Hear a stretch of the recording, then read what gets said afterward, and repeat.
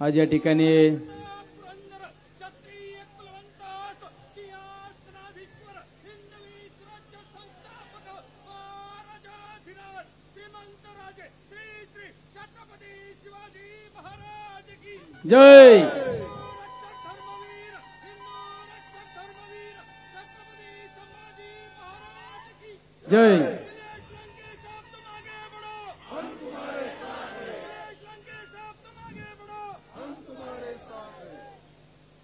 नगर दक्षिण उर्फ अहिल्यानगर दक्षिण लोकसभा मतदारसंघाच्या निवडणुकीच्या प्रचारार्थ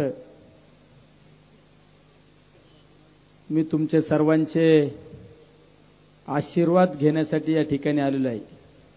आणि तुम्हाला संबोधित करण्यासाठी आपले सर्वांचे नेते आपलं सर्वांचं दैवत खऱ्या अर्थाने शेतकऱ्यांची कळवळ असणारा देशातील एकमेव नेता म्हणून ज्या नेत्याकडे पाहिलं जातं असे आदरणीय पवारसाहेब व्यासपीठावरील सर्व मान्यवर मला आता माफ करतील कारण मला उशीर झाला थोडा. त्याबद्दल मी सर्वांची दिलगिरी व्यक्त करतो. सर्वच व्यासपीठावरील मान्यवर आणि समोर बसलेले माझे सर्व तरुण सहकारी माझी ज्येष्ठ मंडळी तुमच्या आज या ठिकाणी आशीर्वाद यासाठी घेण्यासाठी मी आलेलो आहे. कारण या मतदारसंघातील गेले कित्येक वर्षापासून प्रलंबित प्रश्न सोडवण्यासाठी मला तुमच्या आशीर्वादाची गरज आहे. या मतदारसंघातील अनेक गोरगरिबांचे आश्रू पुसण्यासाठी मला तुमच्या आशीर्वादाची या ठिकाणी गरज आहे. कारण लोकसभेची निवडणूक ही सर्वात महत्वाची निवडणूक आहे. ती म्हणजे देशाचं भवितव्य घडवणारी निवडणूक आहे. कारण आज देशामध्ये लोकशाही जिवंत राहते का नाही हा प्रश्न आपल्या सर्वांसमोर आज या ठिकाणी उपस्थित आहे. डॉक्टर बाबासाहेब आंबेडकरांनी लिहिलेली घटना संविधानच राहतं का नाही ही प्रश्न आपल्या सर्वांसमोर उपस्थित आहे. त्यामुळे आज ही निवडणूक सर्वात महत्वाची निवडणूक म्हणून या लोकसभेच्या निवडणूक निवडणुकीकडे निवडणुकीकडे आज आपण या ठिकाणी पाहत आहे बऱ्याच वेळा आपण ग्रामपंचायतच्या निवडणुकीला महत्त्व देतो. त्यानंतर त्यानंतर पंचायत समिती जिल्हा परिषद आणि विधानसभा. आपल्याला वाटतं जाऊ द्या देशाची निवडणूक आहे लोकसभेची निवडणूक आहे जाऊ द्या काय करायचं आपल्याला देशाच्या निवडणुकीचं. पण खऱ्या अर्थाने तुमच्या आमच्या सर्वांच्या भविष्य भविष्यासाठी जी निवडणूक महत्वाची असेल ती म्हणजे लोकसभेची निवडणूक ती म्हणजे देशाचे भवितव्य घडवणारी निवडणुकी आज शेतकऱ्यांच्या हिताचे कायदे करायचे म्हणलं तर आपल्याला केंद्राच्या केंद्रीय सत्तेमुळेच केस काही कायदे होत असतात. केंद्राची सत्ता महत्वाची असते. आपला भारत देश एक काळ आपण कृषी प्रधान देश म्हणून त्या भारत देशाकडे आपण पाहत होतो. त्या भारत देशातला जर कोणाला कृषी मंत्री विचारलं तर सांगता येणार नाही.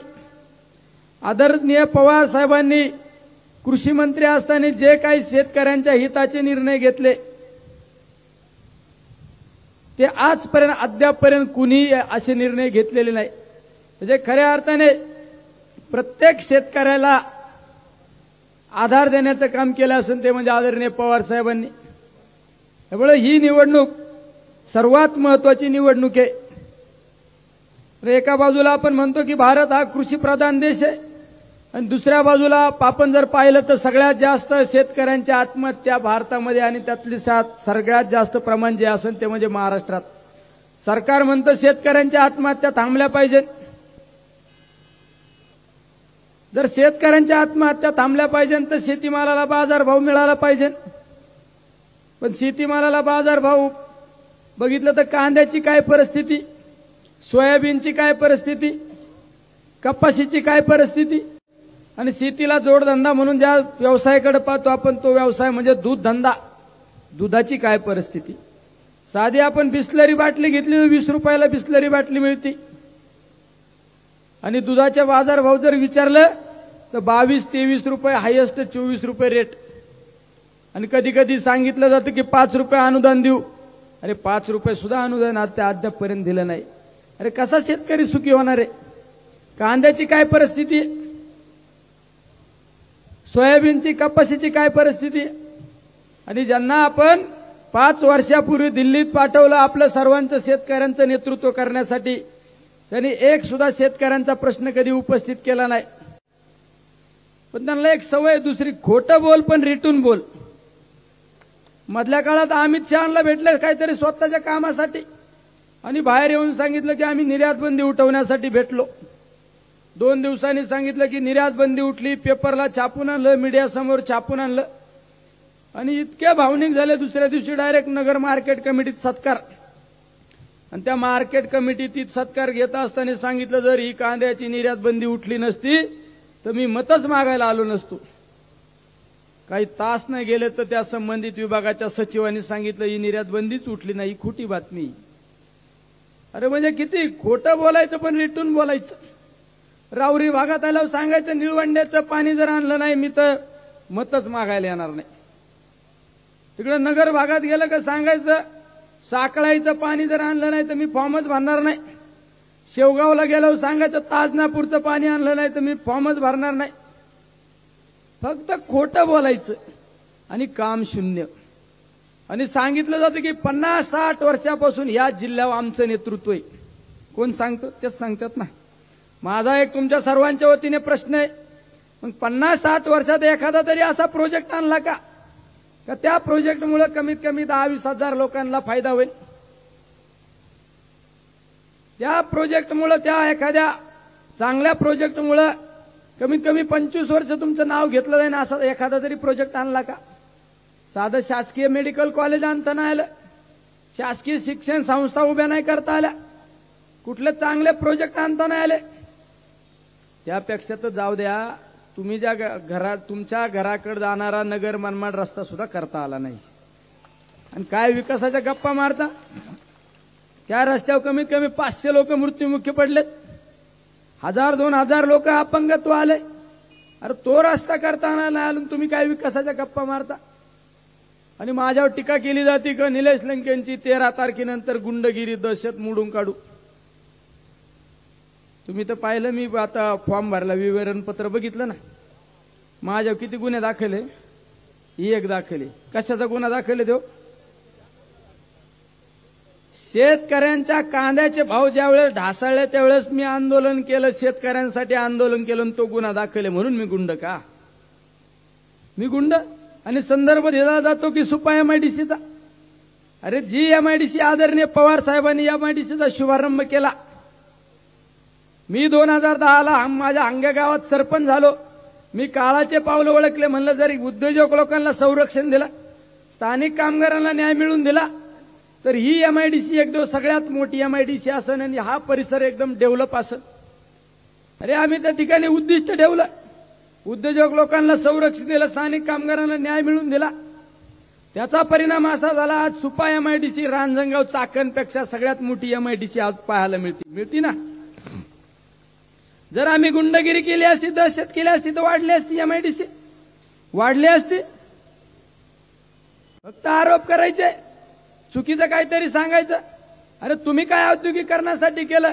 आदरणीय पवार साहेबांनी महाराष्ट्रात ज्या ज्या ठिकाणी औद्योगिकरण झालं एमआयडीसी आली त्याचं सर्व ना सर्व श्रेय जातं ते आदरणीय पवार साहेबांना जाते. अरे साधा प्रवारा नगर सहकारी साखर कारखाना. आशिया खंडातला पहिला कारखाना. सांगितलं जातं ना. आशिया खंडातला पहिला सहकारी साखर कारखाना म्हणून प्रवारा सहकारी साखर कारखान्याचं नाव घेतलं जातं. त्या कारखान्याची आर्थिक परिस्थिती पहा. साडेआठशे रुप साडेआठशे कोटी कर्ज. काय? साडेआठशे कोटी रुपये कर्ज. जिथं चांगल्या संस्था चालल्या ना तिथं बोटं घालायच्या आणि त्या संस्था बंद करायच्या यांना छंदची गणेश सहकारी साखर कारखान्यात लक्ष घातलं ताब्यात घेतला आणि तो बंद पाडला. रावरी सहकारी साखर कारखान्याचं काय केलं? अरे चांगला चालला होता ना. चांगला चालला होता ना त्यांच्या पद्धतीने करून द्या. तिथं लक्ष घातलं. तो रावरी सहकारी साखर कारखान्याचं कारखान्याचं काय केलं? तो बंद पाडला. अरे निस्ता बंद तर नाही पाडला. त्याची काय दुरावस्था केली माहिती ना? मुळा प्रवारा संस्था बंद पाडली. मुळा सहकारी संस्था प्रवारा संस्था बंद निस्ती पाडली नाही. बावीसशे कोटी रुपये शासनाचे पैसे सुद्धा थकवले. आणि त्या संस्थेचे चेअरमन कोण? म्हणजे तुम्ही विकासाच्या गप्पा मारता मग तुम्ही काय केलं हे सांगा ना. राऊरी सहकारी साखर कारखान्याच्या वतीने ज्या संस्था चालू होत्या शैक्षणिक संस्था त्याचं काय केलं? त्या शैक्षणिक संस्थांचं काय केलं सांगा ना. शिवाजी शिक्षण प्रसारक संस्थेच्या माध्यमातून ज्या शिक्षण संस्था चालू होत्या मेडिकल कॉलेज चालू होतं त्याची काय परिस्थिती? कुठल्या सभासदाच्या मुलाला ऍडमिशन दिलं का? इंजिनिअरिंग बंद पाडलं? म्हणजे यांनी संस्था उभ्या करण्यापेक्षा संस्था संपवण्याचा घाट घातलेला आहे. म्हणून माझी सर्वांना विनंती आहे. अभिनय तो कभी नाही हा? माझी जी ओळख निर्माण मी केली ती कुठल्या माध्यमातून निर्माण केली? कामाच्या माध्यमातून निर्माण ओळख केली. आम्ही ओळख जी निर्माण केली कामाच्या माध्यमातून चोवीस तास तीनशे पासष्ट दिवस लोकांची सेवा करण्याचं काम हा तुमचा निलेश लंके हा तुमचा भाऊ करतो. ज्यावेळेस कोविड सारखी महामारी आली या भागातील सुद्धा कित्येक पेशंट होते. कोविड सारखी महामारी आली त्यावेळेस मी माझ्या जीवाची पर्वा नाही केला. कुठला विचार नाही केला. माझ्यासमोर एकच ध्येय होतं माझा माणूस ना माणूस वाचला पाहिजे. माझा प्रत्येक घर ना घर वाचलं पाहिजे आणि या भूमिकेतून मी त्या ठिकाणी काम केलं. तितीस हजार लोकांना आपण त्या ठिकाणी रुग्णसेवा दिली. तितीस हजार लोकांना जीवनदान दिलं. त्यावेळेस आदरणीय पवार साहेबांनी सुद्धा मला किती वेळा सांगितलं अरे तू तुझ्या जीवाची काळजी घे. तू सुरक्षित राहिला तर लोकांची सेवा करू शकतो. मी साहेबांना सांगितलं साहेब माझ्या शेवटच्या श्वासापर्यंत मी माझ्या लोकांच्या सुरक्षितेसाठी मी झटणार आहे. माझ्या लोकांसाठी मी त्या ठिकाणी माझा प्राण गेला तरी चालन पण माझे लोक सुरक्षित राहिले पाहिजे. आज यांनी काय केलं? चार सहा लोकांना आताशी धरायचं म्हणलं काय लावा कोविड सेंटरची चौकशी? अरे काय ते प्रतिष्ठानच्या वतीने कोविड सेंटर चाललं. आणि त्याची काय चौकशी लावता? चार सहा लोकांना बरोबर घ्यायचं आणि सांगायचं इकडं. चुकीच्या पद्धतीने त्रास द्या तिकडे चुकीच्या पद्धतीने त्रास द्या. अरे विकासावर बोला. तुम्ही आज सांगताना पन्नास साठ वर्षापासून आमच्या जिल्ह्यावर आम्ही नेतृत्व केलं. मग तुम्ही आज या निवडणुकीला सामोरं जात असताना तुम्ही विकासाच्या मुद्द्यावर निवडणुकीला सामोरं जाणं अपेक्षित होतं. तुम्ही सांगायला पाहिजे होतं की आम्ही पन्नास वर्षामध्ये हा बदल घडवला. आम्ही पाच वर्षात हा बदल घडवला. हे तुम्ही सांगायला पाहिजे. मी एक दिवस खाजगीत पवार साहेबांशी चर्चा करीत असताना सांगितलं साहेब तुम्ही एवढा गाडीने प्रवास करता. एवढं ट्रॅव्हलिंग करता तुम्ही. तुम्ही हेलिकॉप्टर वापरीत जा. हेलिकॉप्टरने प्रवास करीत जा. साहेबांनी मला सांगितलं. साहेब मला म्हणले मी कित्येक वर्ष झालं राजकारणात मी या समाजामध्ये राजकारणात आल्यापासून मी काही बदल घडवले. आणि काही बदल घडवणे अपेक्षित आहे. मग मी ज्या वेळेस रस्त्याने प्रवास करतो एखाद्या गावात थांबल्यानंतर मला म्हणले तुझं लक्ष ठेव. मी एखाद्या गावात थांबल्यानंतर शेतकऱ्यांना विचारतो पाणी आहे का? काय पीक आहे? काय परिस्थिती तुमची? ह्या विचार करतो मी. आणि ज्यावेळेस रस्त्याने जाताना पाहतो पिकाची परिस्थिती काय त्या ठिकाणची परिस्थिती काय हे सगळं पाहतो. काय आपण घडव आपण काय बदल घडवले? आज पाहायला मिळतं आणि यानंतर काय बदल घडवणं अपेक्षित शंभर वर्षाचा विचार करणारा हा पर्वत आपल्या बरोबर असल्यानंतर ह्या शक्तीला.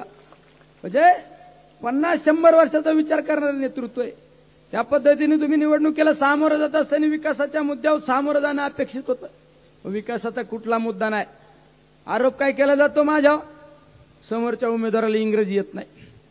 अरे तुम्हाला इंग्रजी बोलणारा खासदार पाहिजे का काम करणारा? रिझल्ट देनेवाला चाहिए ना? काम करणारा पाहिजे. तुम्हाला आपण शब्द देतो. आपण शेतकऱ्याचं पुत्र आहे. एकदा तुम्ही मला संधी द्यावं. नाही शेतकऱ्यांच्या प्रश्नासाठी संसद बंद पाडली ना. ते नाव बदलून ठेवीन. हा, आपण पण हटके हा.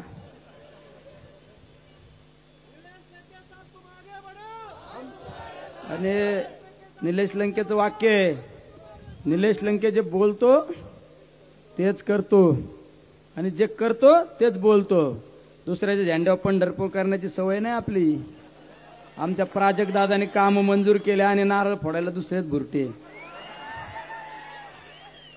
अरे हे प्राजक्तदादा बिचाऱ्याने एवढं अवघड खातं ते एम एस ऊर्जा खातं. मीच म्हणलं दादा काय ऊर्जा खात्यात घेतलं? दुसरं घ्यायचं ना. दादा म्हणले नाही अवघड खातं आहे ना.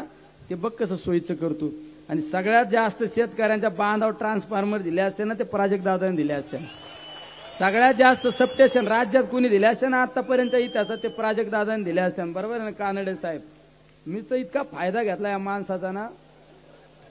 लय फायदा घेतला मी. हे आता पाहिजे होतं रे. घराघरातच डीपी लावून टाकली असती. काळजी ना करू पुढलं सरकार महाविकास आघाडीच आहे. थोडं काम करणारं माणसं पाहिजे ना. मी जसं सांगतो ना छाती टोकून प्राजक्तदादा जसं सांगतात हे केलं ते केलं त्या मुद्द्यावर तुम्ही निवडणुकीला सामोरं गेलं पाहिजे. तुमचा कुठलाही मुद्दा नाही. तुम्ही वेगवेगळ्या व्यक्तिगत टिप्पा टिप्पणी करण्यावर निवडणूकला लक्ष घालण्यापेक्षा विकासाच्या मुद्द्यावर निवडणुकीत सामोरं गेलं पाहिजे. आरोप पत्रारोप प्रत्यारोप करण्यापेक्षा समाजासाठी काय केलं हे सगळ्यात महत्वाचं असतं. त्यामुळे सगळ्यांना या ठिकाणी सांगू इच्छितो. एकदा विश्वास ठेवा रे एकदा. एकदा विश्वास ठेवा हात वर करून सांगा मला. याला तुम्हाला अभिमान वाटण असं काम करून दाखवी ना. तुमची कॉलर टाईट होईल ज्यावेळेस महाराष्ट्रात फिरताना राज्य देशात फिरताना लोकांनी ज्यावेळेस हा?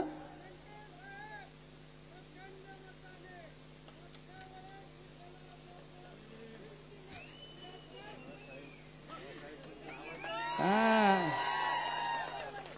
हे बाळासाहेबांचा आवाज आहे. हे माणूस लय हटके हा.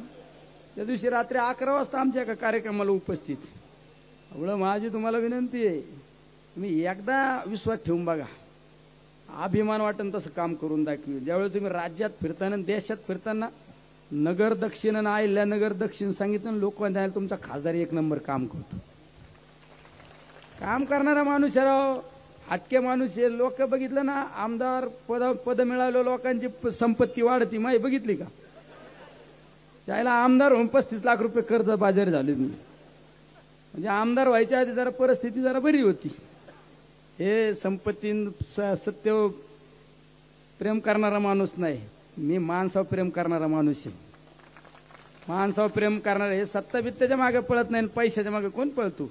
काय लागत आहे खायला? अर्धी भाकर एका टायमाला संध्याकाळी अर्धी भाकर. तिथं कोणी देतं चालता चालता? अरे लोकांसाठी करायचं ही भूमी छत्रपती शिवरायांची भूमी.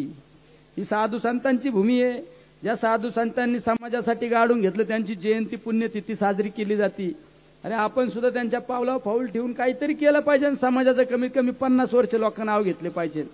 नुसतं मोठ्यापणाच्या गप्पा मारण्यापेक्षा लोक म्हणले पाहिजे अरे खरंच माणूस होऊन गेला.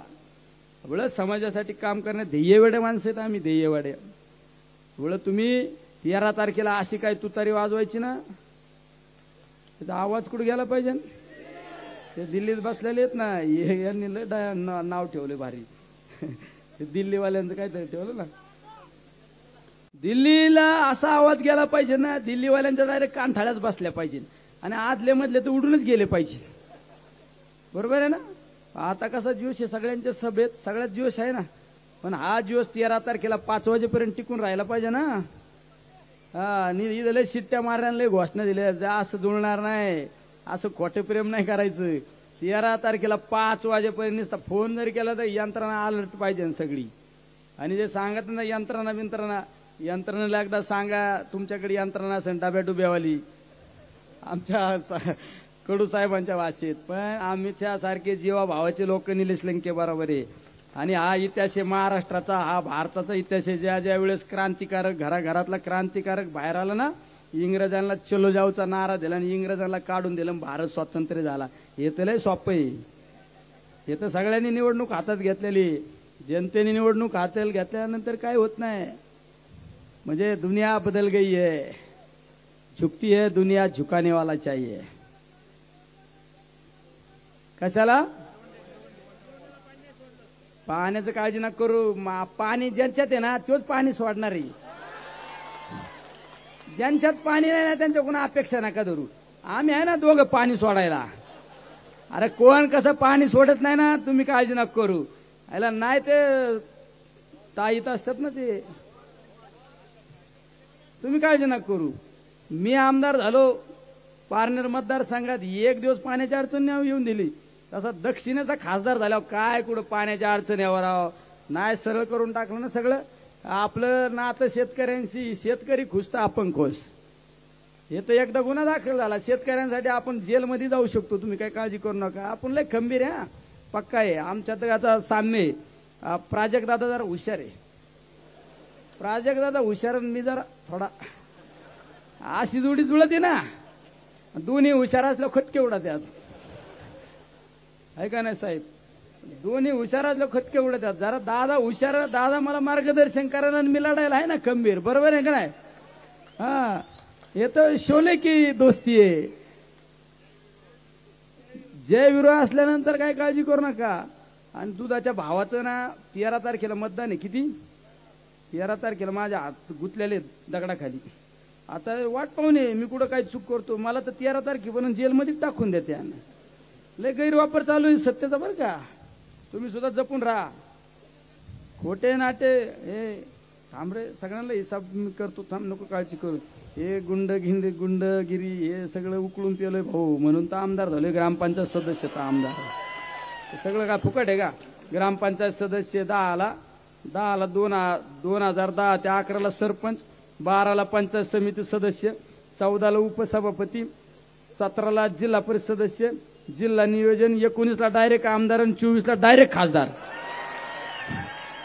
हे हे सगळं उकळून पेलं म्हणूनच आहे ना? हा, नाद करायचा पण आमचा नाही करायचा.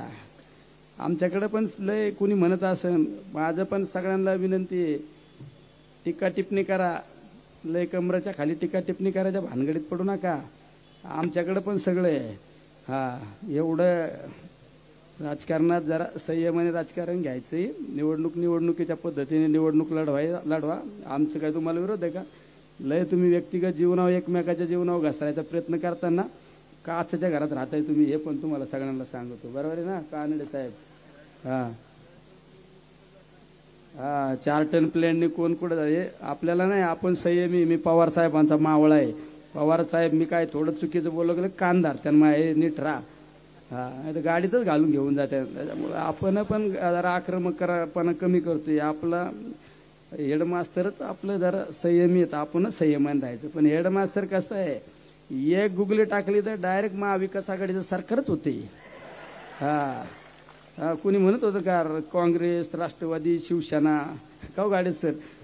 पण डायरेक्ट पवार साहेब हा पॉवर इज द पवार आणि पवार इज द पॉवर साहेबांनी आस्तिक गुगली आता पडणार आहे ना साहेबांचे डायरेक्ट केंद्रात महाविकास आघाडीचं सरकार. आहे का रे आणि चार तारखेला असा निकाल लागणार आहे ना आपला. अशी बातमी येणार आहे टीव्हीला काय? नगर दक्षिण लोकसभा मतदारसंघ उर्फ अहिल्यानगर. लोकसभा निवडणुकीचे विजयी उमेदवार निलेश ज्ञानदेव लंके जायंट किलर अशी बातमी येणार आहे. सगळ्यांना धन्यवाद. जय हिंद जय महाराष्ट्र.